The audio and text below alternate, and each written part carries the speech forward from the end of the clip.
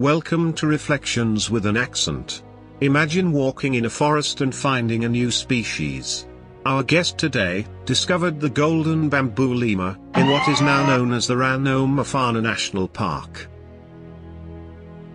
Never stop dreaming because if you don't dream, nothing happens. If you're going to change the future, which I hope you will, in a better to be a better place, uh, you have to dream about how you're going to do it. Nature is so important to all of us, and it's on the brink of extinction, and, and we need to do all we can to protect it.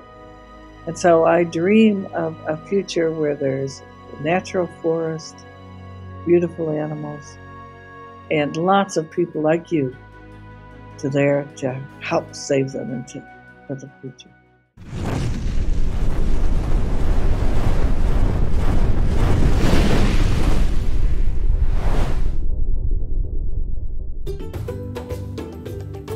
Welcome to Madagascar.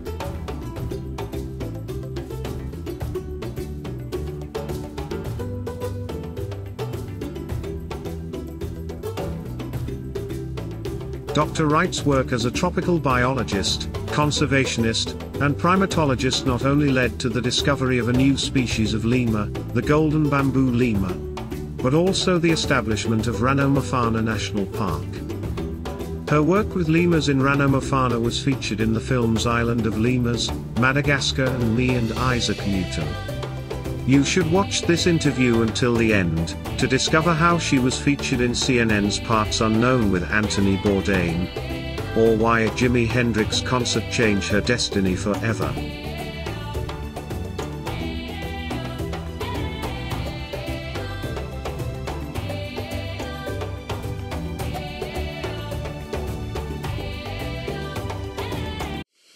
Hello dreamers, in this video we will be diving into the mysteries of Madagascar and its lemurs hand in hand with Patricia Wright, an American primatologist, anthropologist and conservationist. Hello Patricia, it is a pleasure to have you in this channel. Thank you for accepting this invitation.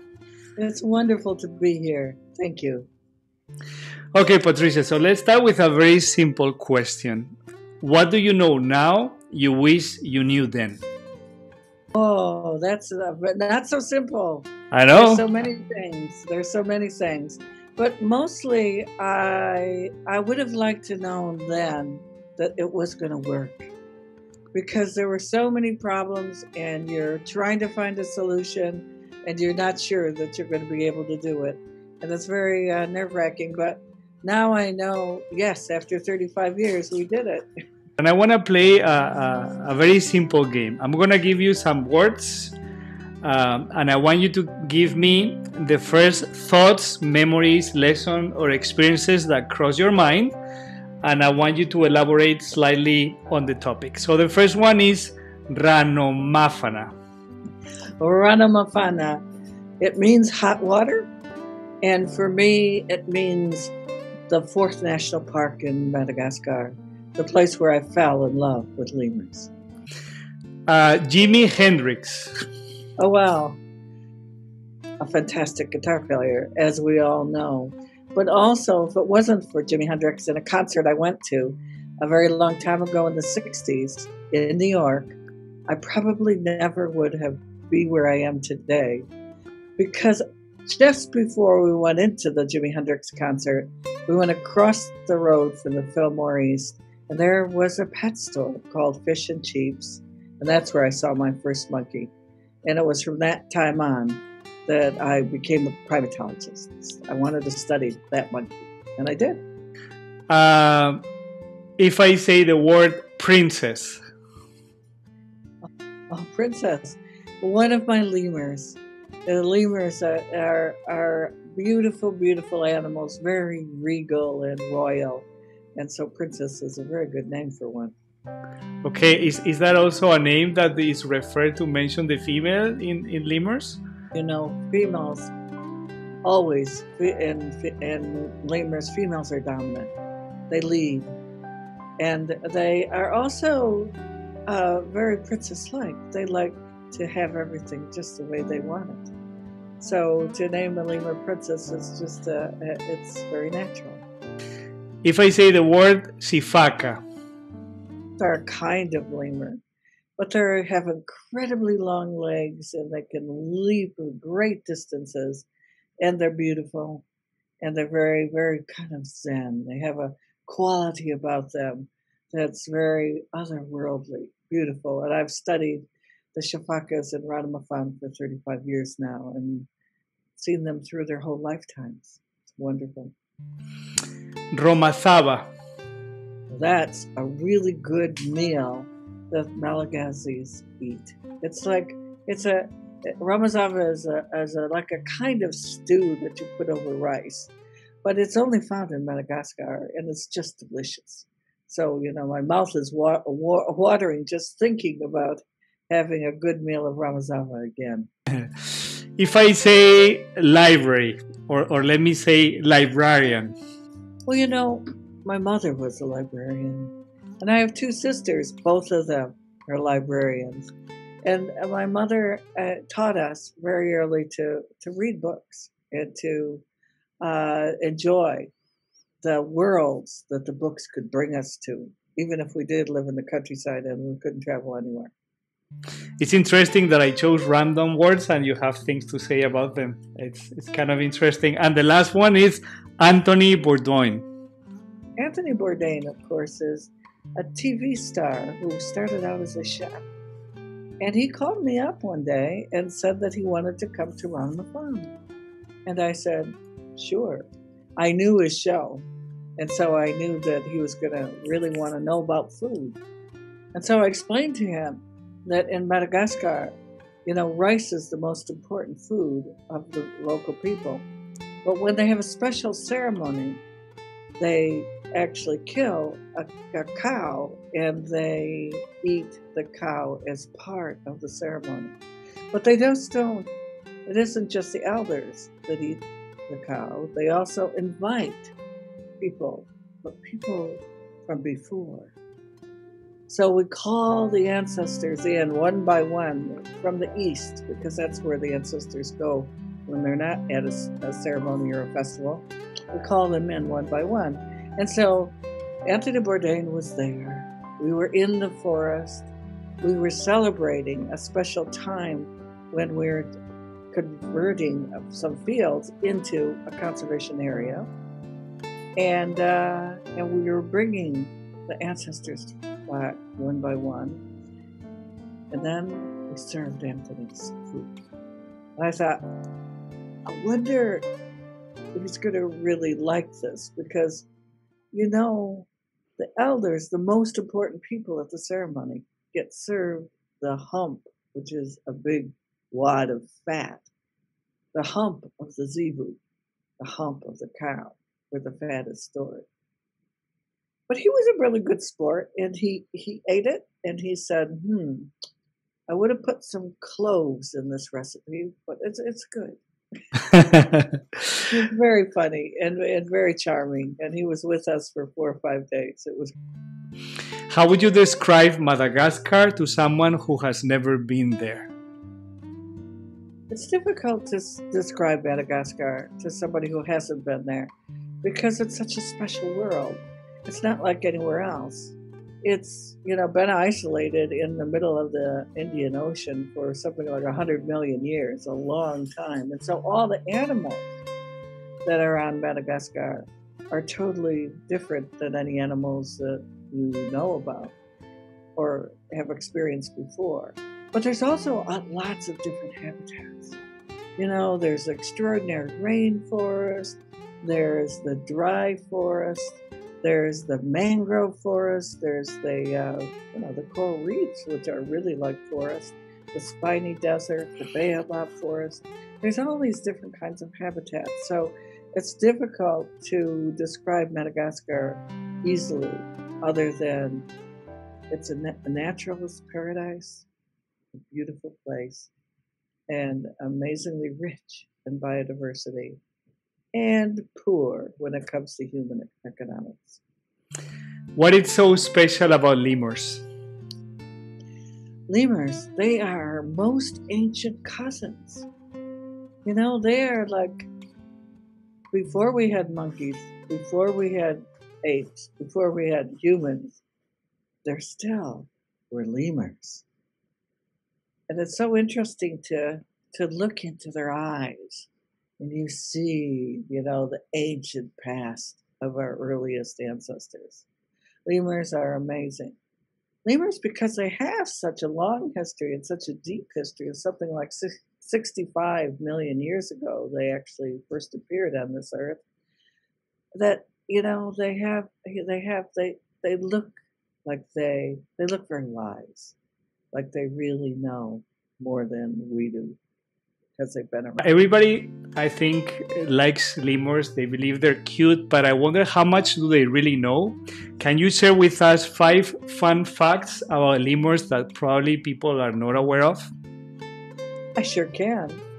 Uh, five fun facts. Okay. So, do you know these are primates, right? Do you our our our relatives? Do you know that that some lemurs sleep half their lives away. They go into hibernation like bears and they sleep through the winter months. And they're closely related to us, so that's quite a trick. So that's one thing that they can do that we can't quite do. Do you know that lemurs have a special kind of comb that they bring around with them all the time? So that's why they always look so good. it's in their teeth. They have something that's called a tooth comb. And instead of, uh, you know, combing their hair, they actually use their tooth comb to groom each other. And that's why they, look so good all the time. They also can use that tooth comb to dig into a, a tree and, and extract insects or sap or all kinds of things. So it's a tool that they bring around with them. So that's two things. Do you know about the stink fights? That they can do? Oh my goodness, they. That's have... why I'm asking you. You know, Patricia, I, I want to learn.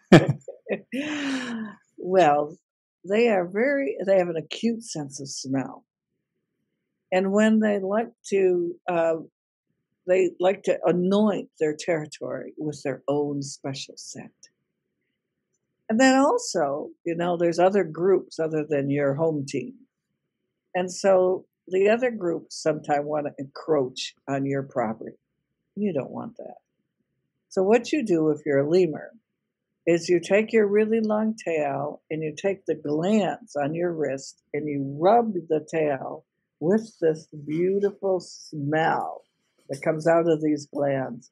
Then you take your tail and you lift it over your head and you start to wave your tail like that so that the smell gets distributed.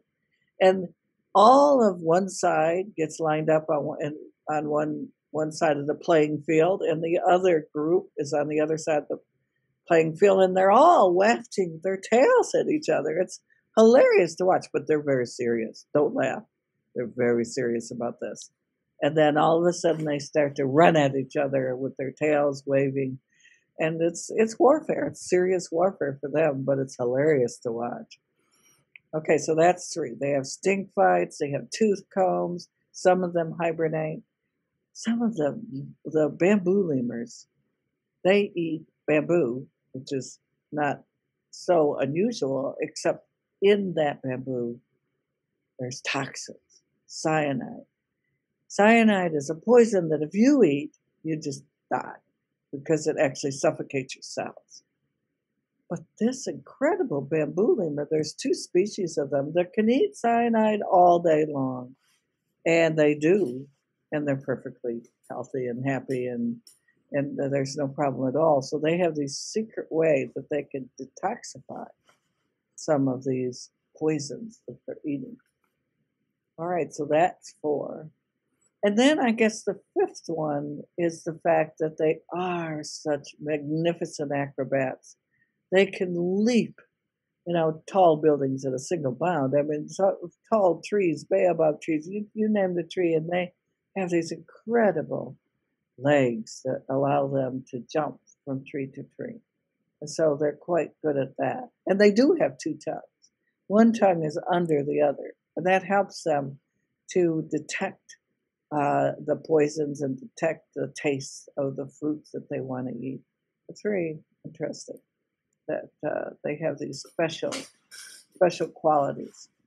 What has been your most spiritual experience in nature? I think I think being in nature is very spiritual all the time. I mean, when you're sitting there next to a waterfall, it's just like, and the birds are singing and the lemurs are leaping. I mean, it's just beautiful. But I think the most spiritual time was actually when I was in the Amazon, when I was walking along a trail, and suddenly I was face to face with a jaguar, an incredible animal. And the two of us just stood there and stared at each other. And I thought, well, this is this is probably it. and and I was very spiritual, and I prayed that it wouldn't be. and he went the other direction, and I was fine, and so was he. That's a, an amazing encounter that you had to experience. Not not not so common. No, I was. Uh, I wasn't even afraid really at first, but then later I thought, "Oh my gosh!" but but let me tell you something interesting, Patricia. Many of the people that I have interviewed, they have had close encounters with jaguars. Mm. Uh, more than one, more than two, and more than three people. That obviously they work on the field, so the odds are there, but it's not so easy anymore. Oh. Um, I would like to know a little bit more about your uh, field experiences with the lemurs and also some of the memories working with the silky sifakas. How was that first encounter and all those moments you spent uh, tracking them, I guess, and studying them? I mean, lemurs are the first lemurs that I saw just ran away. And so I had to spend some time, you know, getting gaining their trust really. They had been hunted, and so it was really important we had that they trusted that we weren't going to hunt them or harm them in any way. But then once they decided that I was okay, they became quite easy to follow. And I would be underneath them, of course, and they would be jumping in the trees. They always knew I was there, but they, I, I didn't really interfere with their behavior. They went along and they did their eating and their jumping and their sleeping and their grooming and their fighting, everything like they would have if I wasn't there. Um, the sifakas are such beautiful animals, and when you you see them, it's like uh, it it's they're almost like the silky sifakas are almost like ghosts. You know, it's like they have an aura about them. Um, they live high in the mountains, and it's misty, and then suddenly there it is. There's this beautiful animal, and of course they do, their sifakas always come in groups, and some of the groups are, you know, only small, like three animals, and some of the larger groups are nine. But they're always uh, they they call, and they and they jump, and they and they interact with each other in ways that are, are just beautiful to watch. I mean, I'm taking data, and it's a real science project. You know, there's no questions about that. I've watched them and throughout their lifetimes, but it's also it's an amazing thing to watch such a beautiful animal. And how many species of lemurs are there in Madagascar today? Well, the books say that there's 110, 110 different kinds of sifakas but I know there's 111 because we're about to describe a new species. So that's pretty exciting. I'm sure. Can you talk about that, or we should not? Well, you know, we don't. We thought. Well, all right. So I'll tell you that it is a mouse lemur, and that we were, you know, thinking that it was one species, and then we started, you know, following them, and there's, you know, they're they're doing some different things, but we just thought it was, you know, variation. And then we looked at their genes. And their genetic differences divided them right into two groups.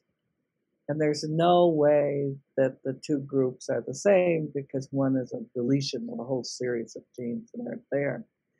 And they ha- seem not to hybridize. So they're living together in one place but they're not the same species. So th- that's going to be an interesting paper. Yes. Mm. So there's 111 species of lemurs. Beautiful, all of them. Well, almost all. Thank you, thank you for answering. And uh, I think I know the answer, but I'm sure you're going to explain it much better than me. Why are no lemurs in Africa today, in the continent per se? Yes. Now, I, I, said that lemurs have been in Madagascar for maybe 65 million years, which is a very, very long time. But we have some animals that look somewhat like lemurs on, on the continent, the largest continent of Africa, that lived long, long time ago. Maybe, you know, also millions and millions of years. But they went extinct all the lemurs went extinct on the on the main mainland, and that's probably because about 25 million years ago, the monkeys evolved. And monkeys are very smart, and very uh, many of them very manipulative, and I think they uh, started uh, outwitting the lemurs and getting all their food and probably torturing them a little bit. You know how monkeys are. And uh, so, anyway, they drove them into. Uh, we hypothesize. We don't know for sure, of course, but we hypothesize that the monkeys, the evolution of monkeys, probably drove them into extinction. Um, what are your three favorite lemurs and why? Oh, it's so hard to. I know, I know. It's like asking a, a father about their children, right? Or a mother. Right. I dearly love the sifakas because they're absolutely so beautiful. But then I discovered this new species to science, the golden bamboo lemur. And so it's a beautiful lemur, and I love them too. And then, of course, the mouse lemur, the world's smallest mouse lemur, is so cute. It's, it'll sit right in the palm of your hand. Oh, but I forgot the aye-aye. I absolutely love the aye-aye. It's this weird looking animal, a lovely animal in its own way. Um, and I brought the first uh, pair into the United States. And so I'm responsible for all the aye-ayes that are now in zoos. And that's a very strange animal, too. So, oh dear, I said four, didn't I? And you asked for three. okay. I could go on and on because there's so many that are so great. Uh, what is the biggest lemur out there in terms of yeah, the its size? Indri is a beautiful animal, seven, eight kilos, which is what, 12 or so, or 16, 18 pounds. And it's black and white with green eyes and fluffy ears, you know, like, like panda bear ears. And, and almost no tail and long legs that you know can jump in. But the most important thing about the indri is the call. I mean, the call is just beautiful. It's just like a like a clarinet, or it's it's and they call to each other every morning. What a great alarm clock! To come to Madagascar, that's uh, you'll hear it. Uh, uh, what do lemurs eat? What is their diet? in well, general, obviously, but they're vegetarians, most of them. I mean, most of them are eating, you know, fine fruits that they find in the forest and and you know salad, you know, really nice uh, new leaves, and but some of them eat insects. The smaller ones also eat insects, but their uh, their diets look it looks tasty. I haven't actually, you know, eaten what they're eating all day long, but it's the cyanide filled bamboo that is probably the most dangerous for humans. And, and, and, something that it's in the back of my mind while I was preparing for this interview is what is the current uh, conservation status of the lemurs in Madagascar? And how many lemurs are left in the world today, if we have an approx number?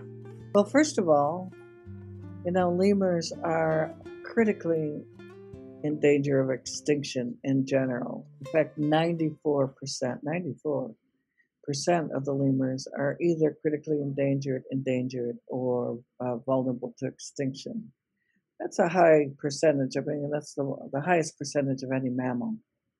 And so we have to, if we're going to have lemurs around for the future, we have to be sure to conserve them, to save their habitat, and to save all those 110 species what was your second question?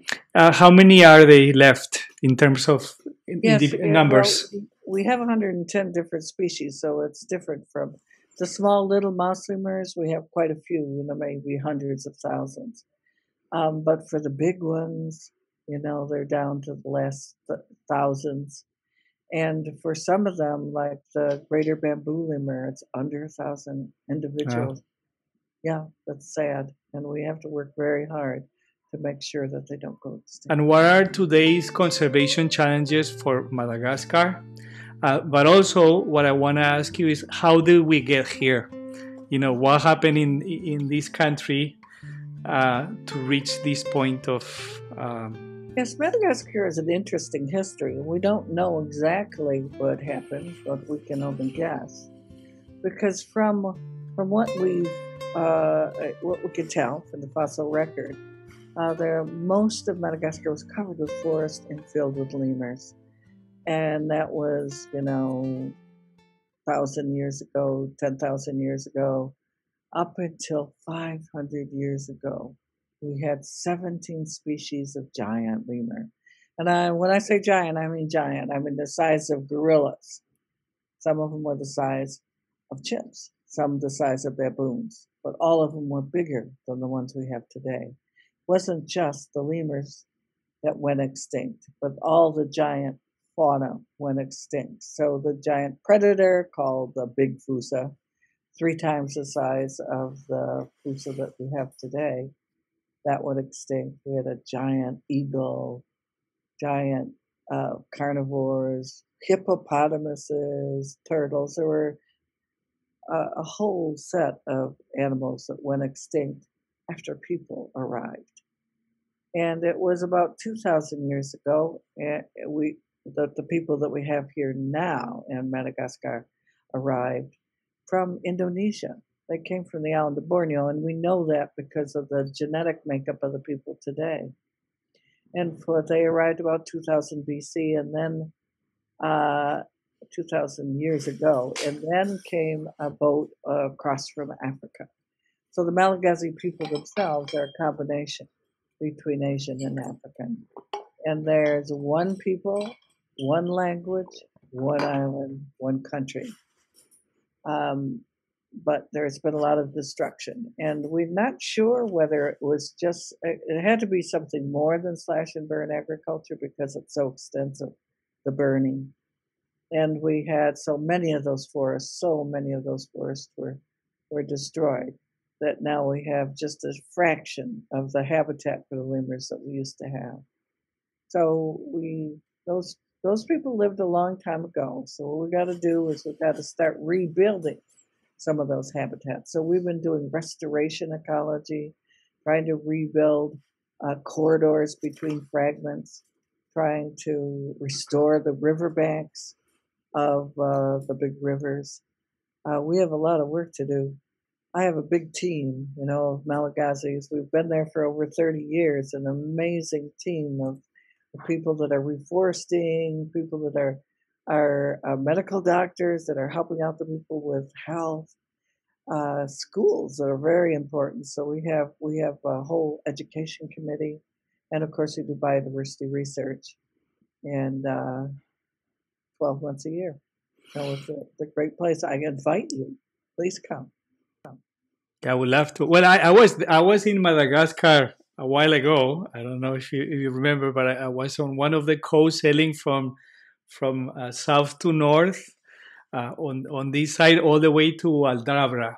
Mm. Uh, and, and I, I honestly I fell in love with the country and the people are warm and the music and, and the variety. And as you say, as you describe all these lemurs and everything seems to be so strange to the eyes. Uh, that is is very beautiful to photograph. It's it's quite uh, captivating. And I recently discovered, and I was shocked, that it's legal to have uh, uh lemurs as pets in some uh, states in the U.S., like in Ohio, Nevada, Florida, and North Carolina. And that's something that shocked me a little bit. So I just wanted to ask you, what is your opinion about this? Yes, well, lemurs aren't meant to be pets, you know, they're really meant to be in the wild. So it's very difficult to keep any primates as pets, and I know that because I actually had primates as pets. And um, so the fact that it's legal in those only those states, so the other states it's illegal to have lemurs as pets. And I, I think that they, they should not be pets. I know that they should not be pets. And uh, many of my friends are working to change those laws uh, to protect the lemurs and also to te- protect the people. I mean, a lot of times you don't understand the responsibility of having a pet like a lemur. And uh, and so then suddenly you're you have one and you have there's there's a lot of uh, not just extra work, but also the fact that they're so social. They want to be with you all the time. Mm-hmm. And they're mm-hmm. also wild animals, so they, they have big teeth and they can also bite you. So, you know, there's a lot of the downside of having them. But I, you know, I love lemurs, but I love them most. you. And we're, we're coming to an end, but I have a few more questions. Uh, Patricia, uh, what is your dream?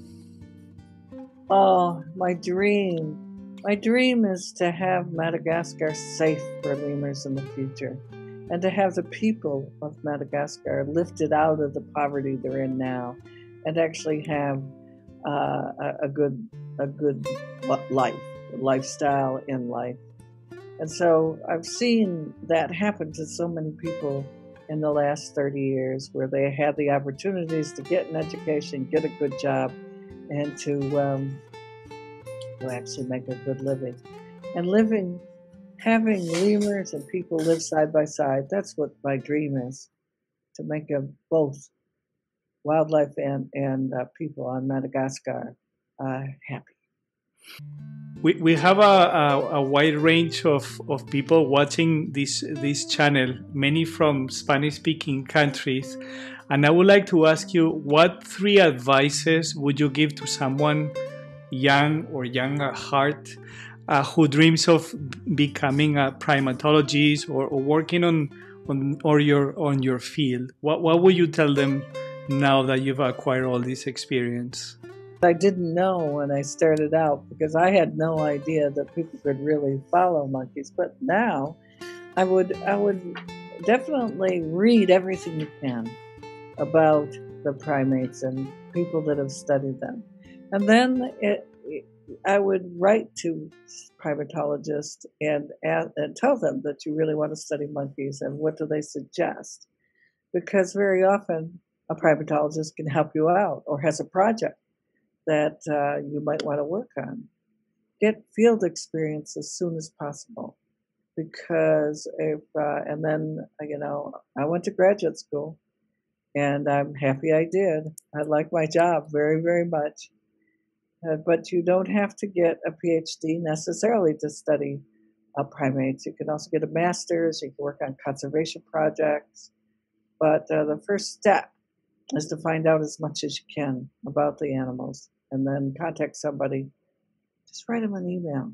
They may answer and then start you off on the right path. Thank you, Patricia. And, and we're coming to an end. And I have one more question. We have a, a tradition in this channel. You know, I close all my communications with the saying, never stop dreaming. So I ask uh, my guests to take that message and suggest the audience to never stop dreaming in your own words. What would be your message uh, to whoever will watch this video in the future? Never stop dreaming because if you don't dream, nothing happens. If you're going to change the future, which I hope you will, in a better to be a better place, uh, you have to dream about how you're going to do it. Nature is so important to all of us, and it's on the brink of extinction, and, and we need to do all we can to protect it. And so I dream of a future where there's natural forest, beautiful animals, and lots of people like you to there to help save them. Thank you so Thank you so much. It's been a pleasure. And above all, I know you're very busy, so I really appreciate that you took the time to, to chat with me. Thank you for inviting me. This has been fun. Thank you. Bye bye for now.